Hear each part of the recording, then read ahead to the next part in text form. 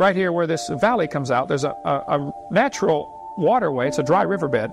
That is called a wadi, W A D I. If you went into that wadi, you would find there are rocks all over the place, but they've all been pushed out of the way to make a path. Somebody pushed all the rocks out of the way to make a path for wagons, apparently. That dry riverbed, the wadi, ends up at that white dot, which you can barely see on from this satellite map. That white dot is actually this giant beach. Off to the right, you can see where that wadi comes into it, that dry riverbed. And at the bottom of that beach, way down there, which would be the south end, at the south end, Ron Wyatt found this pillar. It had fallen down, half in the water. He and his sons dragged it out, scrubbed it off. A lot of it was eroded, but part of it was still readable. And it basically said something to the effect of this pillar was erected by King Solomon to commemorate the crossing of the Red Sea. So they went and did some research. Uh, the National Geophysical Data Center in Boulder, Colorado has a map showing the depth of the water. How deep is the water? Above this red arrow, you can see where it says the Elan Deep, or Eilat Deep. It's nearly 5,000 feet deep. The Gulf of Aqaba is. Incredibly deep water. South of there is the Aragonese Deep, which again is nearly 5,000 feet deep. Right where that arrow is, there's a shallow place. It's only 900 feet deep, which is still pretty deep. But 900 foot in eight or nine miles is a nice gentle slope down and a nice gentle slope up.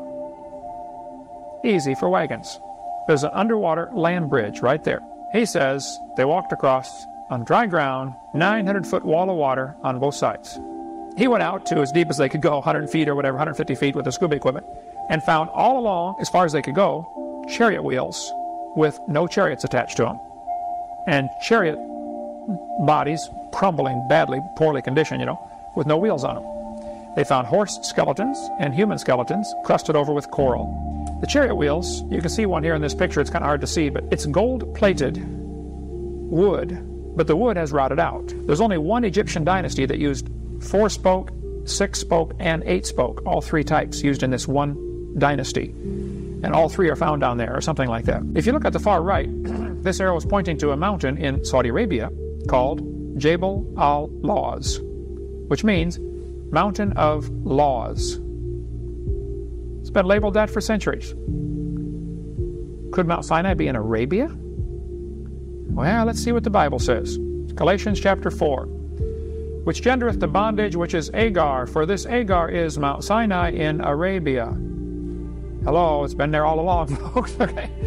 Why have they been looking in the Sinai Peninsula? That's not where it is. This is a picture of the mountain that apparently is Mount Sinai. The top of it is still black. This may be the place where Moses got the Ten Commandments. At the bottom, you can see an altar with a calf on it. This may be the altar that uh, Moses or Aaron set up. Okay.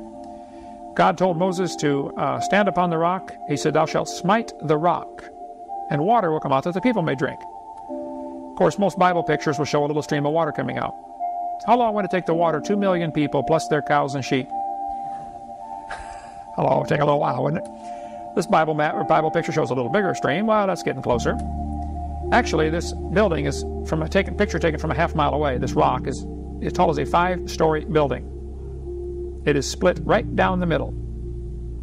Ron says this is the place, this is the rock that's split in half. And water came pouring out. You can see erosion marks.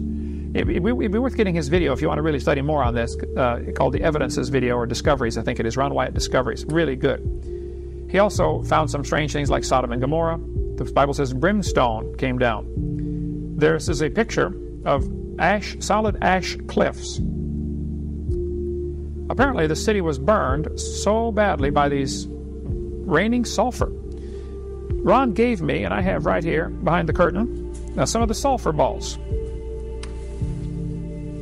I don't let many folks handle these because every time you handle it, some rubs off, okay? And then uh, eventually they'll be gone. I've had several friends, even some scoffers, who said, I don't think that's true. And they went over there to the place where Ron said they were, and they dug through the ash, and sure enough, there are literally millions of these sulfur balls. The outside is kind of a white. I know sulfur is yellow. I taught science, okay? Um, if you scrape off this white coating, it's pure yellow sulfur, 99.6% pure sulfur. You can smell it for sure. Um, apparently, burning sulfur dripped on that city, or rained on the city, As the sulfur would burn itself out, it would encapsulate itself in its own ash and shut off its oxygen supply. Ends up with a coating around a pure sulfur ball. No found no place in the world except this this place over there.